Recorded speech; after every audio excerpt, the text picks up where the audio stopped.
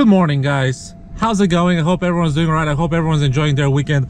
Today I have a very exciting video. I want to fix one problem that I think the car has from the factory. A lot of you guys might guess what it is. And then I want to change something. I want to personalize the car a little bit. So without further ado, I have this right here. And you guys can tell this is the Steeda or the S550 replacement clutch uh, spring, if this can focus.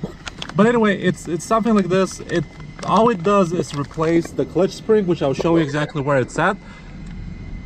What is that noise? That's so crazy. Um, but yeah, all it does is replace the clutch spring and that's it. The reason why I want to do this because the OEM clutch spring is about 185 pounds of pressure and it's a very, it's, it's not linear. So what happens is you're at the bottom of the clutch pedal and then eventually you go up you go up it catches and then it kind of pushes your foot off of it. You have to like kind of balance it and finagle it to get the, the perfect shift. So that's very interesting. And also i'm personally i'm not the best driver when it comes to manuals. So i'm still working on improving my shifts when it goes from first to second and second to third and so on. Uh, i actually don't have a hard time going off the line. I have a harder time going from second to third could be because of this MT82 transmission, I don't know yet, but it's kind of putting a uh, damper on my uh, uh, manual driving skill, so I'm hoping this might fix some of that. And lastly, another thing I want to do is I made an order with uh, zombie stickers, and this is what I got. I got the, the lighter green and also the darker green uh, puddle lights. So I'm very interested to see how the pony would actually look on the ground. I wanted to match, I believe this darker green would match the color if you guys can see the color of the car a little bit better uh, this darker green is gonna match that so I want to I want to see how it's gonna look on the ground as well. So I'm very excited to try this. Uh, it's zombie stickers. It's from the Mustang G6 forums, I believe. I'll post a link to his post. But it's quick shipping, and these are cheap. These were I believe they were like two or three bucks, and I didn't pay any shipping. So this was awesome. So I'm excited to see this. Again, no promotion, no advertising whatsoever for these guys. It's just something I want to do to the car, and I think it's gonna look really good. It's gonna match. It's gonna match this this paint job on this car. By the way, let me show you what the car looks like. I'm going to give you a quick uh, run around the car before I start installing the, the clutch spring. I want to show you what the car looks like with the ceramic coat uh, being done now and the car being washed once. Uh, and also how the springs look. They, they're starting to settle a little bit better, so the look looks amazing. As you guys can tell, the ceramic coating is coming out very, very well. I mean, the car looks clean. Obviously, some spots that I missed or when I was driving, some spots that came out and this is what it looks like with the springs and you guys can see it's starting to settle a little bit better so i'm excited about that uh, whiteline told me drive it for a little bit longer but before you guys can see i could have fit both my fingers comfortably. Now it's more like a finger and a half that fits. So i believe another 200 miles or so and the car is really gonna settle. Same thing with the front. So it looks very nice. I'm i'm very excited how this car is turning out. It looks gorgeous. But again this is what the car looks like. So let's get going with the installation. So here's what you guys would need for the installation. I recommend a flashlight, uh, flathead screwdriver, maybe to finagle the spring out a little bit, pliers, or uh, these are self-locking pliers. Um, so these will help you kind of keep the tension without having to use an arm to squeeze anything, and the spring. So what I'm gonna try to do is show you guys as best as I can. I have a really bright, bright flashlight. Uh, I'm gonna show you guys where the spring is at and uh, what it looks like and what you guys will have to do uh, eventually I'll have to put you guys down because I really have only two hands and I can't record this. It's kind of like a weird angle as you guys can see. There's not a lot of space. I'm not a small guy as well, so it's gonna be a little bit hard for me to fit. Uh, one thing I, I, did is move the seat back and also I'm gonna adjust the steering wheel, probably move the steering wheel up a little bit, but actually I have it at the highest setting, so that's not gonna work for me. But let me show you what it, what it looks like, what the spring is. So if you guys can see, the spring is right over here. Um, here's the perch, there's some grease and the, the top part is also uh, the spring is up there. So what you have to do is honestly you have to compress the pedal. You have to compress the pedal down and then once you compress the pedal down it's going to put some uh, pressure or some tension on the spring because it's going to expand it. Uh, once it does that uh, you have to use the pliers to compress it. And once you compress it you can use a flathead screwdriver put it in here and then just like kind of finagle the bottom part out. You have to remove the bottom part first uh, once you install the outer spring, I'll show you what to do. There's a little trick that makes it a little bit easier. So let me get working on that. This shouldn't take you a long time. Um, but let me let me see what I can do because uh, I really haven't started trying it. This is all theory, and in theory, usually things should work perfect. But let me see if I can set you guys up somewhere where you can see. all right guys so i'm i'm using my head mount i'm not sure how well you guys can see that but here's the angle this is the spring you can see right there with the light this is the spring. I need to compress this and remove it from that perch. Obviously i can't hold the light and press down on the clutch with you know both hands. So i have to put you guys down. Uh, hopefully you guys can see well. I wish i could actually put let me see something. Maybe i can put the light here. And that might help a little bit better. But basically you can probably remove it just with your fingers but I want to compress it down so that, that way it will be a little bit easier for me there you go it's a little bit compressed. And now you have to do is just pop it out. And it shouldn't be too bad. Here's where the screwdriver might come in help because it will help you remove the spring a little bit better. There we go. All right guys i apologize for that. The camera fell off. But this is basically what the spring looks like. And you can see i just used the pliers to compress a little bit. It has a lot of grease um, so be careful with that. And then i'm gonna just release the pliers and the spring just falls off. So here's the the oem spring. Here is the Steeda spring. They're a little bit different. So let me take this guy out.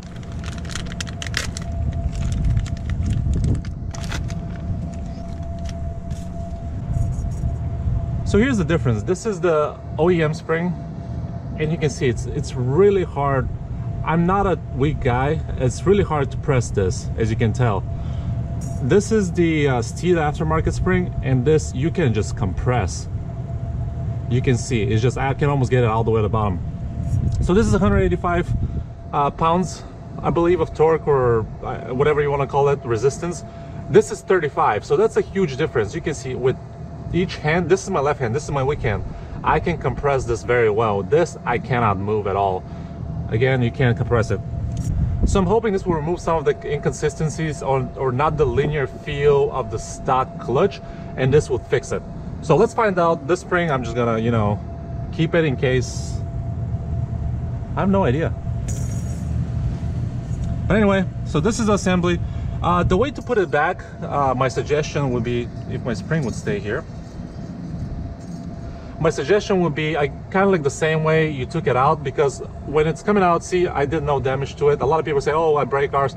I don't know how you guys are breaking these. These are they, this shouldn't break. There's no reason why to spend hundred dollars on a whole perch assembly from Steeda there, there's just no reason. Spend spend 20 spend 20 21 dollars whatever it is plus shipping for this. So you can see this is almost brand new looking. So my suggestion is when you guys are installing it because this spring is a lot lighter a lot easier put on once you put in the spring put this bottom part in first slide it in and then when this is you can compress the spring by your hand and then put in the top perch. So you guys can see this is the assembled portion already. I'm gonna get under the car and install it. You know what guys? I'm gonna put you down. It's very uncomfortable for me to uh, figure out how to work especially with the camera kind of banging in around and I, I really need to focus and use my both my hands to put it back.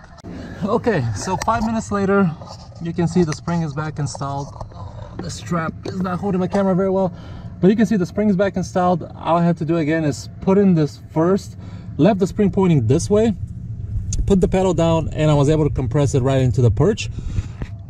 So it feels a lot stiffer I would say. So I'm interested to take out the car for a drive and see how it will feel. And of course I got grease all over the car. It's whatever you know. Just honest day work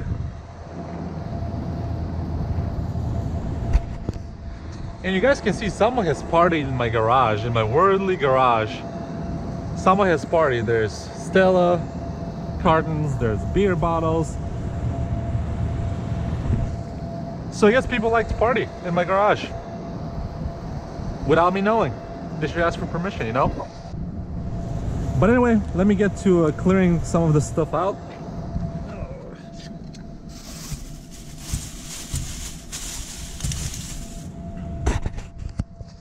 And I'm using my GoPro app hoping you guys can see better what's going on when I'm installing stuff. And I'm also gonna try to finagle this uh, as a point of view driving to make it look better for you guys so you can see it.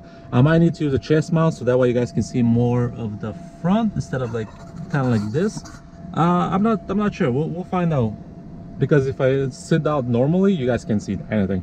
On to the next. Let's install the zombie stickers uh, puddle light overlays Uh, they were really nice to include. I asked for two dark green and two light green. They were actually really nice to include four dark uh, green and uh, two light green. Here is their website. You guys can check them out if you want to. And I believe they include, yes, they include some installation instructions. So you have your plastic lens cover, you have your recessed area, then you have your project lens and the color vinyl and where it should go. So this is very interesting. I can't wait to look down there and see what I can finagle, what can I figure out. I'm gonna use the dark green first, as I said, because that way, if I don't like the dark green, I can switch to light green. If I completely hate the light green, I can go back to the dark green. And this is, this is a cool sticker. I kind of like this. I might put it right here, you know. The car has been zombified. Right? You guys can see that, right? Maybe I should put it right here. Uh-oh, it can fall in there. I don't know. Maybe I'll put it somewhere where it can sit like that. Zombified car. Yeah, there we go. Oh, there we go. This will be perfect. People have lots of questions when it comes to that. I can just tell them it's my girlfriend. I'm not sure how well she will like that. So let's start working on this. This should be a pretty simple install. Let me grab an actual towel from the back. I'm trying to get you guys a little bit out of the sun, but it's it doesn't seem like it's working very well. So I believe these would just go like that, maybe. And then they'll just reflect on the ground because it looks like, yeah, it looks like they just go like this. Because there's the inlight. So from their instructions, these look like to, to fit just like that, which is super simple. It kind of like uh, follows this area. However, I'm not sure if you press on it, yeah, it would just go like that. So it can distort, so it can change the light. I'm gonna use the light to guide me because that's the end goal is we're trying to cover the light. so just the reflection of the light. So you guys won't be able to see them now because it's it's light out. But when we go inside the, the the parking garage the public parking garage here you'll be able to see them. And i'm gonna try to put this one differently. The reason why is the other one is just kind of like hanging. I think this one can go inside the lens Oh guys, I messed. I messed up the other one. So that's good that they gave me an extra. So I messed up the other side. I'll have to go fix it. But what, what you actually have to do is, and sorry, the sun's coming out. But what you have to do for this is there's a little groove and just follow this groove. So put it on the sticker, put it on the, the light here, and then just like follow the groove and it fits perfectly. It's not this way. I put it the opposite way. So I apologize about that guys. I'm gonna go ahead and fix the other one as soon as I get this one super sticky to make sure it doesn't get loose. All right, let's go quickly to the other side and let's fix this one. You guys can see how I messed it up.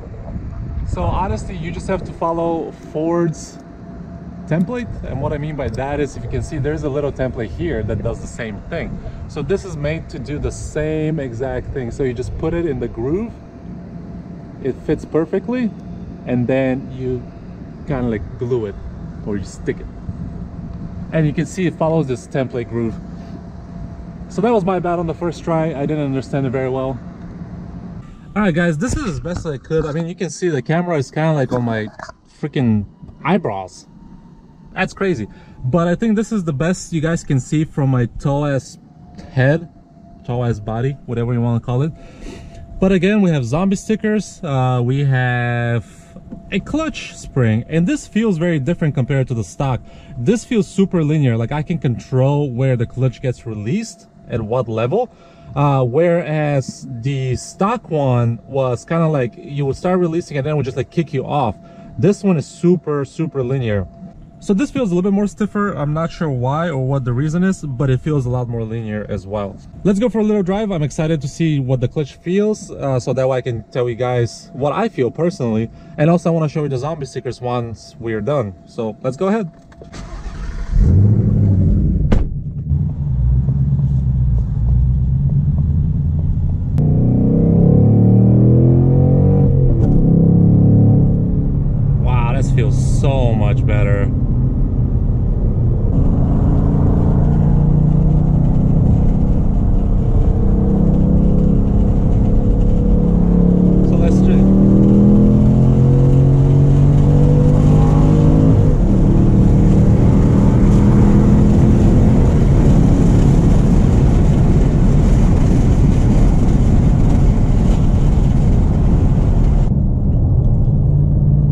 This clutch spring feels so much better. Just the shifts alone like the quick shifts are so fast because you can actually it engages properly. With the with the previous clutch spring it's a hit or miss especially like third fourth fifth. It's a hit or miss. But with this spring uh, with this spring specifically it just bites really quickly. Earlier i tried some shifts between second and third and it just snaps right in place. It's just perfect. So i don't know why ford decided to not come out with this uh, specific spring or this specific resistance uh, from the factory. Not sure but they should have. It just feels so much better than the OEM feel. And also let's talk a little bit about the engagement when you're at that stop and you're starting to move it just it's so much it's so much better to uh you can control the the actual car so much better. It just feels so much better when the clutch is actually biting. It's it's a lot more linear. Your foot is not being kicked off of the actual clutch pedal. It's it's not like you know like releasing and releasing and releasing. And then all of a sudden it just like snaps. It's it's more of a it's more of like a slow release and gradual release where you can feel it. So it feels really good doing that so overall, I give thumbs up to this specific clutch spring, which is the, the replacement basically. The reason why I'm giving it a thumbs up is because it feels great and also it makes it makes driving a little bit more pleasurable or a little bit more uh, it, it makes driving a lot better than the stock the stock portion